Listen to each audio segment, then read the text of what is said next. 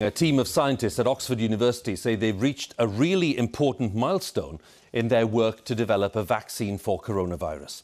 They say the vaccine they're developing appears to be safe and triggers an immune response based on early trials involving more than a thousand people. The government has already ordered 100 million doses of the vaccine. But while the findings are certainly promising, the experts say it's still too soon to know how much protection it actually offers. And larger trials are now underway. Our medical correspondent Fergus Walsh has the story. Three one three one one nine seven. Perfect, thank you. So much is riding on this. Could the Oxford vaccine help end the coronavirus pandemic? More than 9,000 volunteers have received the jab in the UK, among them these frontline NHS staff in Newcastle. I've seen what COVID can do. The sort of severity of some of the cases has, has been quite um, upsetting at times. So I really wanted to try and help get rid of this disease. All right. Unfortunately, my dad fell ill with COVID and was admitted here for eight days. And I think once it's been that close to home, it, it makes more of a difference. You want feel like you want to do your bit. Vaccines work by training the immune system to recognize and remember the enemy. In this case, coronavirus. The Oxford vaccine stimulates the creation of specialist Y-shaped proteins known as neutralizing antibodies.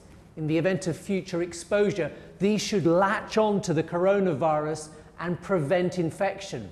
It also stimulates the creation of T cells, another key part of the immune system. These should sweep up after the antibodies and destroy any cells that have become infected. In the first 1,000 volunteers, the vaccine was safe and two doses gave a better immune response than one. The Oxford team says it's a really important milestone. We're really pleased with the, the results uh, that are published today in the Lancet because we're seeing both neutralizing antibody responses and T cell responses that we are optimistic may be associated with protection. But we, we still need to conduct those trials to prove that that's the case in humans but we don't know if the vaccine will work in the real world and protect people from infection. Trials have begun in South Africa and Brazil, both virus hotspots so the answer there may come sooner than in the UK. So this is very good and it's very promising to start with. However, we have seen vaccines reaching this point and also failing. So we need to be a little bit careful and not quite uh, popping the Prosecco uh, just yet. Fit you both in at quarter to one. Perfect. These over 70s in Southampton are all signing up to receive the vaccine older people are more vulnerable to COVID 19. And our immune system weakens as we age. So, whether the vaccine protects them is another key question that needs answering. Yeah, no problem. How do you feel? I feel fine. Good. And Fergus is with me. So when viewers ask the key question, Fergus, which is when, when are we likely to see this? Can we give an answer?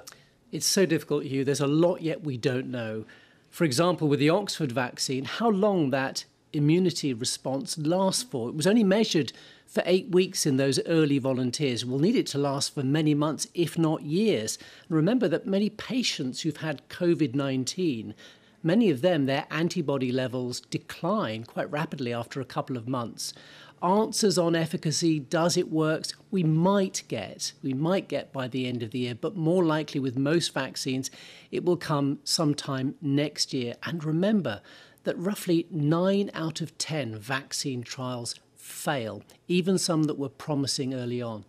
We're focusing there on the work done by the team at Oxford, or led by the team at Oxford. But put that research for us in a broader context, because clearly there are lots of other teams working on possible vaccines too, as you say. Well, there are 23 COVID 19 vaccines in the clinic. Absolutely astonishingly high number. Another 140 in early development. Now, Oxford is one of the front runners. We had encouraging results today from a Chinese coronavirus vaccine. China has more COVID 19 vaccines in the clinic than any other country.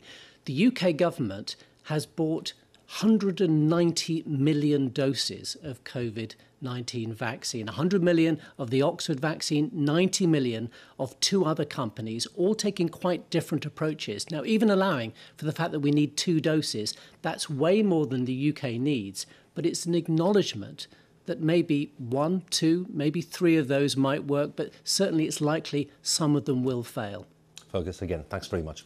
Fergus Walsh, there, our medical correspondent.